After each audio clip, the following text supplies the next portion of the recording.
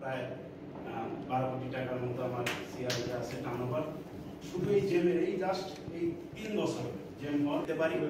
হ্যাঁ সেই জন্যই এসেছি। আরো আগে হয়তো ভালো হবে Thank you. स्टेशनरी और ज़्यादातर सर्विसेज हमारा होता है जैसे कि उसका सर्विसेज थैंक यू सर मतलब आपका कुछ एक्सपीरियंस बहुत ज़्यादा है हमारा और अ, मैं इस फील्ड में लगभग इस